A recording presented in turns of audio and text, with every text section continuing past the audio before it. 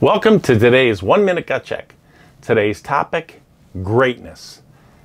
We talk about greatness all the time, but have you ever thought, what does it really mean to be great? The definition of greatness is the quality of being great, distinguished, or eminent. I believe that greatness is within all of us, especially for those who have the guts to go after it. Here are some ways to find your own greatness. First, purpose.